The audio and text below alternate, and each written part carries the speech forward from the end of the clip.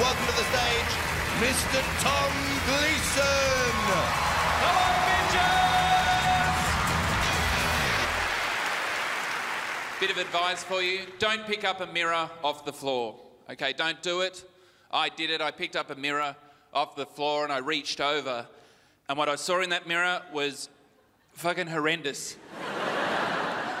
My face was loose, it was just hanging there. My eyes were all the way back in my skull, you know, where they belong, and, and, and the skin was just hanging around it. It was like a, like a Chesterfield couch, you know, the studs are buried deep in the leather and the.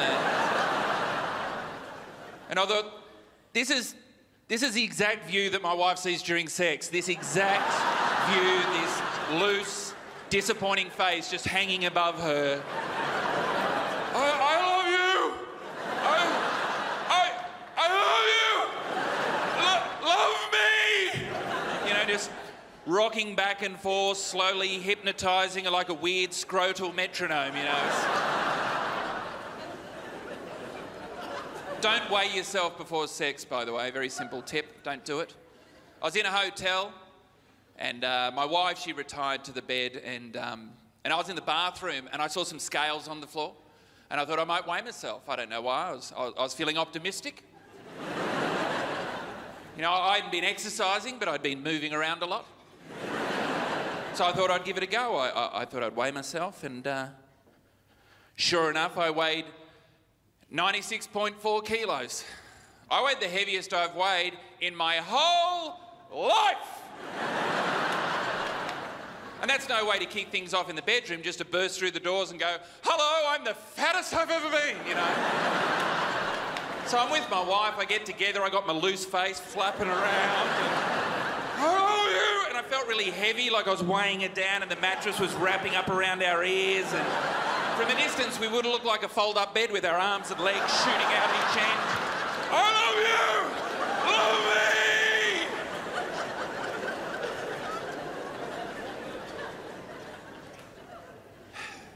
So he finished like uh, two hours or whatever, and. Uh... you know, I was off my game, so I had to bring it in early, so.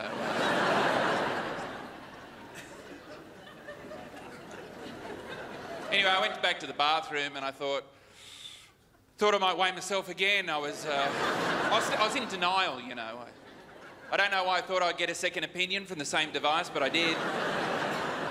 So I weighed myself again, gave it a go, and uh, sure enough, I weighed 94.2.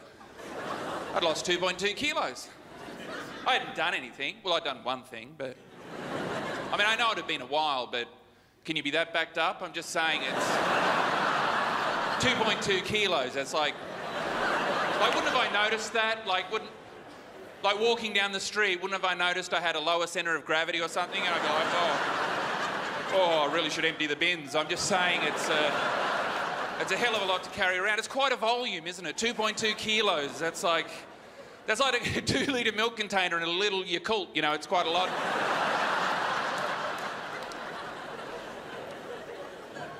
And then I thought, oh.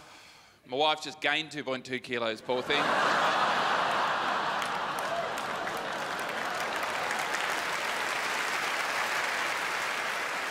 Thank you very much. Enjoy your festival, bitches!